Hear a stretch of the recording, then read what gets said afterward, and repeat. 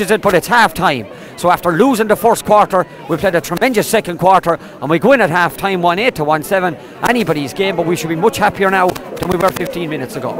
Every one of our players has picked it up since the first quarter. And the move of Philip in at number 15 has been a tremendous move. Half time 1 8 to 1 7. Holy Cross back in front.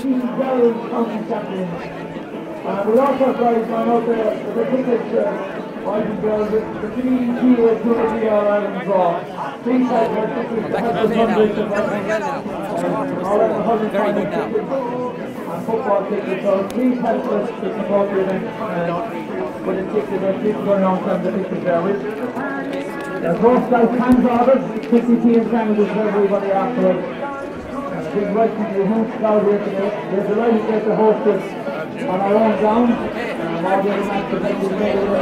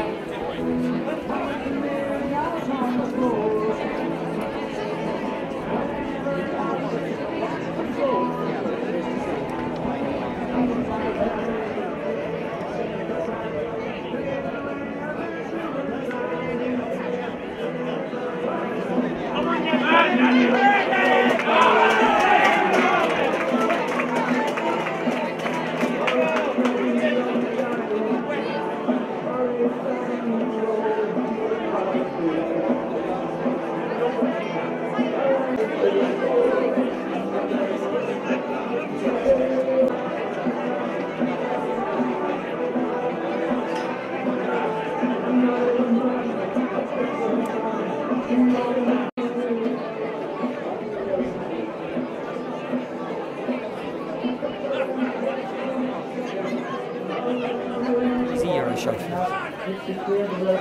think. Second half just about to get underway. 1 8 to 1 7 for Holy Cross after being down 5 or up 1. 30 minutes to go in All Ireland Junior B Hurling Final 2014. No change in Holy Cross team, one positional change. John Fogarty on wing forward, Kevin Dwyer midfield. Kevin's pace will be fierce and important out there. John's strength hopefully in the half forward line. Keep that ball travelling into where we can do big damage, which is inside. The message is loud and clear. Cut down on the freeze, get fast ball inside. We can make hay inside, especially against the wind. There might be more room. Kevin gets possession straight away. He'll need to move it. Two of them on him and they, they strangle him and take the possession of him. Reardon onto it. Brett Owen with him. Owen keeps him out, but he delivers up the wing. Connor turns onto it. Philip with the 15. And what a job he did for the last 10 minutes of the first half on that fella. Referee signals a line ball in for Temple Glantine. First free up the uh, first first ball up the field in the second half.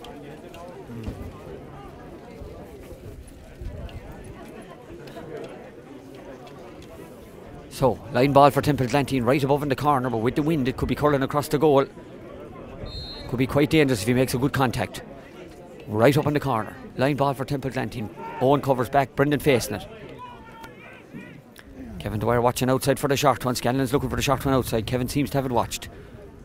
So, line ball for Temple Glantine. Here it comes. He cuts it and cuts it well. A wide ball would be good here. There is no wide ball. It's staying in play. And Owen pushes it out and Kevin brings it another bit. Brendan in there as well. We don't need to give any frees in these rocks. Kill it anyway for starters. Don't let them make progress. Philip rises and strikes out. Does well, but there's a Lanty man there and it's Scanlon because Kevin had gone back to help the backs. Scanlon's shot. Will it fade in from the far side? It will not. So it stays 1 8 for Holy Cross. 1 1 7 for Temple Glantine. The breeze is straight across here in our faces, but it is helping Temple Glantine the second half. Ty won't get as much purchase on the puck out. Gets a good contact, will make the 65 and drop there, maybe a little less. Dennis rises, it breaks for Dan and he kills it well. He'll need to get forward out there though. Can't strike on the back foot here because they are strong to hit. We must go forward.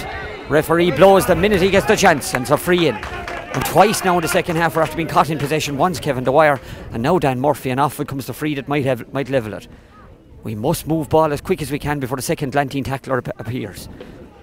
Because once they stand you up, they're physically strong, and they strip the ball fairly quick. One eight to one seven. Reardon, the talisman of Temple Glantine, standing over it. He scored a few against the breeze, so you'd fancy him on this one. The pick is good, the strike is true, and the game is level. 1 8 apiece, a minute into the second half.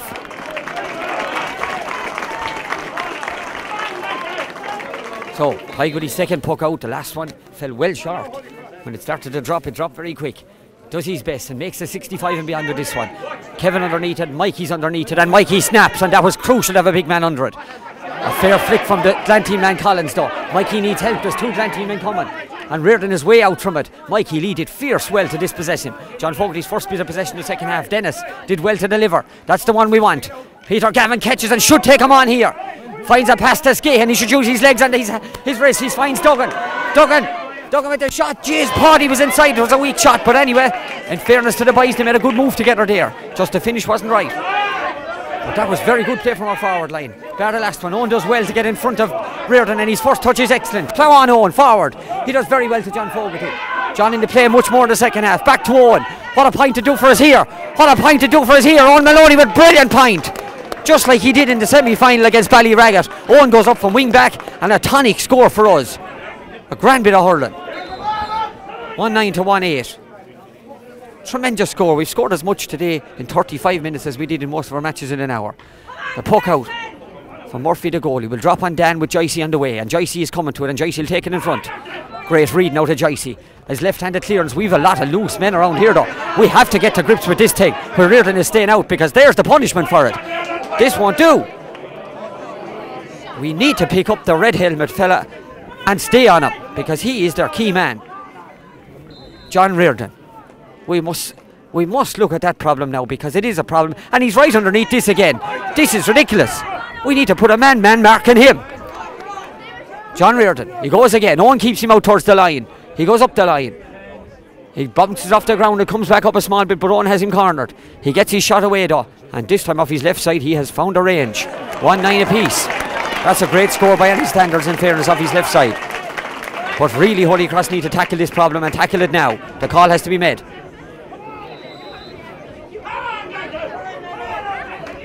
Number 19 is loose and he's only here for Temple Glantine. No one needs to get out a bit. If he could at all, he's after been in the play a lot and possibly tired. That's a great fast ball again. First touch is vital here, P- Peter. When we get fast ball in, we must make it count. This will go to Kevin. Kevin to deliver, maybe. Kevin did well to get away from that one and needs to deliver before the tackles come.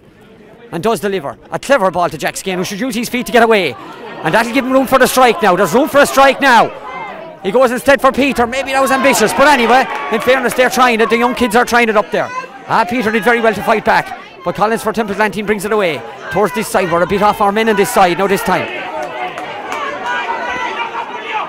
up the field goes Temple Glantine, and still. Good strike in, and Joycey's underneath it, and Phillips underneath it, and Philip to kill it here. He has done a great job on 15, but 15's a tricky customer. The base of him corralled in the corner just near the end line. A wide ball would probably be the best out of it. Stalemate on the end line and then finish a wide ball is the best we can get out of it. So, 1 9 apiece, five minutes into the second half, and the play has certainly opened up a bit. We've got a bit of a run in it, but so have they. So the stalemate of the first five minutes of the first half not been repeated here. No more throw ins, and the ball moving faster as lads find their feet. Here we go now. A puck out. Down it goes. John Fogarty underneath it. Needs to get. We need to get John into that game. He kicks it forward, so we do. Centre back for for Glantine. Their captain Mark McCarthy misses it. Mikey Lee in there again. Scanlon on the play again. And he drives it forward and he did well in the circumstances. Philip and Rear Philip and the second Reardon. Philip tried to pick it. Reardon will take him on and Reardon will take a free in. So, the first time we've allowed 15 for them to get back into play. He wins them a free, and this should be a, a point for them and the lead, or second in a row maybe. John Reardon again.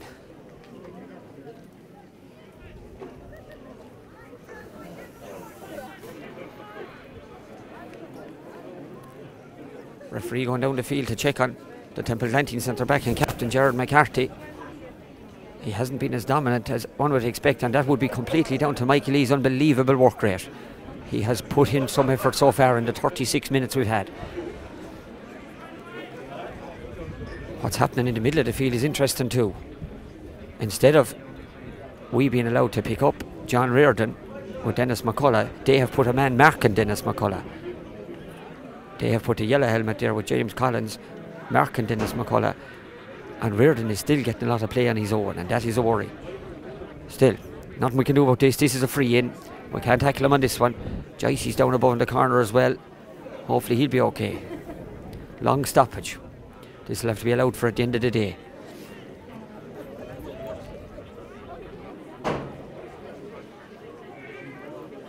One nine for Temple Glantine, one nine for Holy Cross Ballycahill, 33, 37 minutes gone in the game.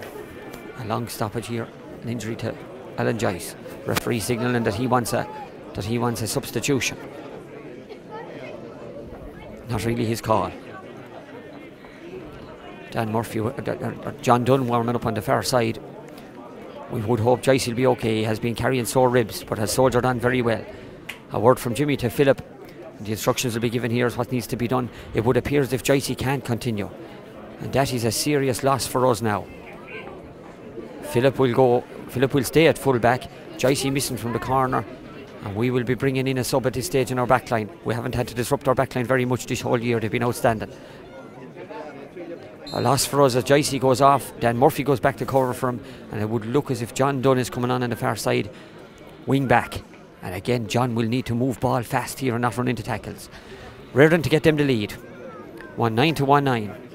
38 minutes gone. There has been a long stoppage. The wide stance, the flick of the Hurley. Taking his time and he's entitled to do that. The pick is good in the circumstances. The strike is true. 110 to 19. Both free takers have been excellent. Reardon for Temple Glantine, Paddy Comfort for us. 110 to 19. Puck out for Temple Glantine. Linesman on the far side wants something now. All this breaking the breaking the, the momentum. Lantine going with a substitute into their forward line. And that's the reason for the break in play. Here we go. He'll go in on Dan Murphy. Dan will pick him up. Tig with the puck out. Does well. Gets it to the far 65 this time. There's a lot of men underneath it. Kevin Dwyer, ideally we'd have bigger men underneath where it drops and the smaller men coming on the, on the break. But it didn't happen there. And Lantine ran to the break with Patrick O'Connor. His strike was good. His strike was very good. Umpire very slow to signal. He was more interested in where the ball was gone out in the net. But he eventually gave it wide. Lantine are raising a question over this. The umpire had been slow to signal. Referee going in. The other umpire didn't signal at all. The near umpire signalled a wide. He seems to be going across to his other umpire saying it went wide. The other umpire is not budging, so it will stay wide. He'll come around the side and he will signal it wide. Will that be important in the end of the day? Certainly the Lantine crowd are looking for it, and the umpire and the, the linesman on the far side now is his flag up. Maybe he's going to throw in his tuppence worth. The two umpires have agreed, the referees agreed with them. Now the linesman intervenes. And now the referee goes in again. This is time down to Swanee. And there could be a big cheer if this is overruled for the home team here. The home team, Temple Glantine, just out the road. The ref goes in again. He gives orders again. And this time they go for the flag. And that is highly unusual. But both umpires agreed. And the referee went in a second time. Anyway, the score has gone up. It's 111 to 1 9. We're down two points. And Tig with the puck out. And we need to lift our game like we did in the first half. Dennis underneath it. Mikey underneath it. Mikey gets up as high as Kevin. Get out of that tackle. He does well. Brent, move it. He does.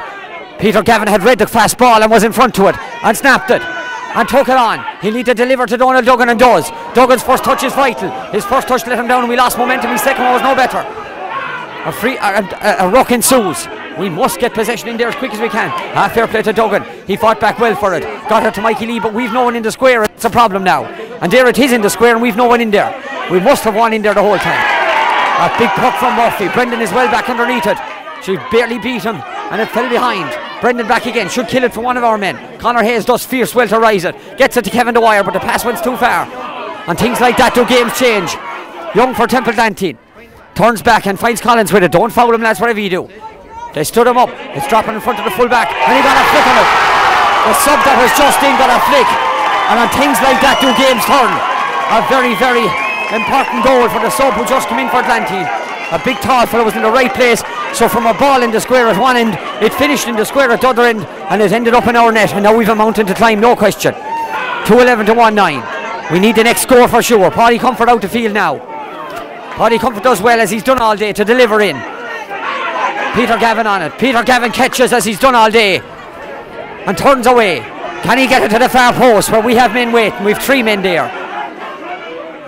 Can he turn? Can he cross? There was two on him and they are good in the tackle. And Glantine have their tails up now. Kevin to break it back for Paddy, maybe. Kevin has it.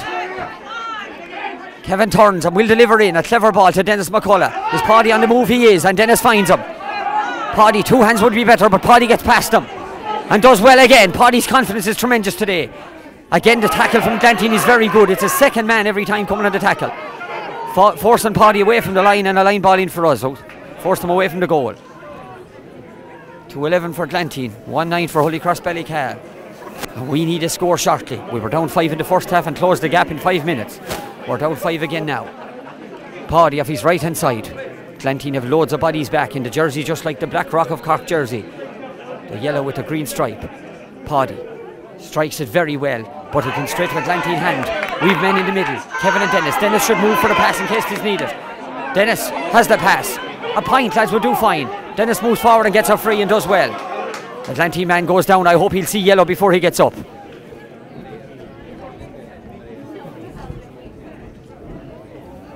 So we need this free. We need this score. We are making grounds up the far side, but we haven't translated it into scores. Glantine will take their time here. There's been a huge amount of stoppages in this second half with injuries. 13 gone. In, in essence, we've only played about nine. Temple Glantine 2 11, Holy Cross Ballycahill 1 9, and Glantine have an old breeze with them.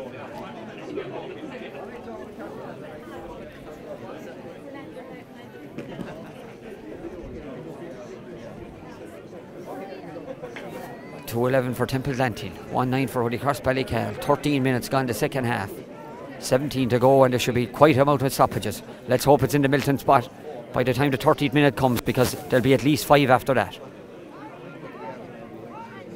It'll be a free in for Holy Cross after all this is over. Fella got injured in the act of fouling Dennis McCullough.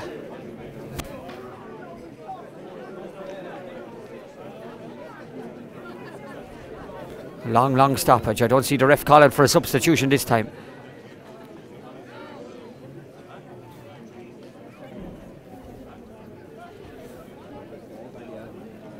So, two goals and 11 for Temple Glantine. One goal and nine for Holy Cross Ballycahill.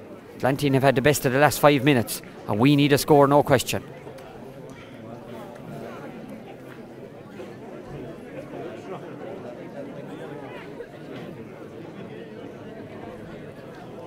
A lot of men in there, a lot of young lads in there. Referee gives the yellow eventually, the first yellow for Temple Glantine. And a free in for Paddy. He has been dead on all day with them. He struck the ball very well and has looked very lively from general play as well. This is a difficult free throw against the wind. Paddy stands over it. Dornell in front of the goalkeeper. Paddy strikes very well as he has struck all day. Paddy comfort has been outstanding under all sorts of pressure today. 110 to 211. And the next score here would, would, would be very important as well. Glantine 211. Holy Cross 110 now. Murphy with the puck out. He's in no rush. Goes back to get the ball. Comes up with it, and this will drop a long, long ways past midfield. A lot of men underneath it. There it goes. Up the field it goes. Temple, Temple Glantine under it. John under it. Light man under the ball, but we have runners there, and Dan did well to dive down. John, don't run into trouble. Drive your ball, John. In fairness, he tried to do it. Don't run into trouble, John. He comes through with it. He got through with it and needs to strike now. Ah, he did very well to Paddy Comfort again. And Paddy moves it on another bit. It may make the sideline. It doesn't. Mikey Lee does great. Turn and go, Peter. Turn and go because the red green helmet will not catch you. And still Peter. The pass was neither here nor there. Fagsy. Goal. No, brilliant save. It's gone in. It's gone in. And Peter Gavin was the key there. Mikey Lee kept the ball in play that he'd no right to. Peter Gavin made, made, made ground pass to John Fogarty and his first big incision since he went in corner forward. And game on again. Very same trend as the first half. We were slow for the first 10 minutes and now we've got a goal and a point back to back. One E stay out of this, other break it back. They do that. Jack, get in there lower. Get your hurleys up on this lad, don't foul him. Well done, guys. Great work. Forced them to puck it into the corner where there's no one, only Connor Hayes. Philip coming as well. 211 to 210, a tremendous contest. We have two there, to there, one, and Connor brings it out. Glantine making us very fight very hard for it, but our lads showed great composure. Connor surely got fouled there, but the ref didn't see it. And 15 is a very good player for them, and he gets the free. Funny enough, he saw that one. 2 211 for Glantine, 210 for Holy Cross Ballycahill, but a free in for Temple Glantine. and they could restore a two point lead here for them. But we have shown that their backline and particularly their inside backline is there for the taking. So a two point lead isn't end the world here at all. The breeze has got out of it a bit, 17 minutes gone. John Reardon over it. As I said, both free takers, John Reardon and Paddy Comfort, have been tremendous for both for their sides in spite of the blustery wind.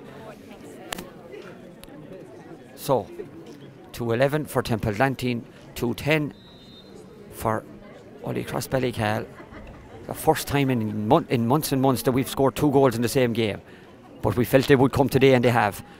Here we go again. John Reardon is rock solid with them and he Emily Strix straight over the bar. 212 for Temple 210 for Holy Cross Ballycahill. But it's still game on here big time. With 17 minutes gone in the second half. Tyke with a great puck out considering the breeze. Have we men under it? We have. John Dunn under it, but the, slight, the taller man grabbed it for Lantine. And he comes with it. Surely he tossed that. Surely he tossed it. This ref is only seen what suits him here. And the neighbours are getting the, getting, getting the breaks here. There's no question with that referee. Tyke with the puck out. Even the locals here seem to agree that the ball was tossed. Puck out for Puck out for Temple for, for Tig and Holy Cross Ballycahill. Down the middle it goes. Mikey Lee's are sole man under. And what a catch! What an effort this man is putting in today. Peter Gavin up and take on that fella. Must take him on. He's a weak link for them. And we've taken him on again.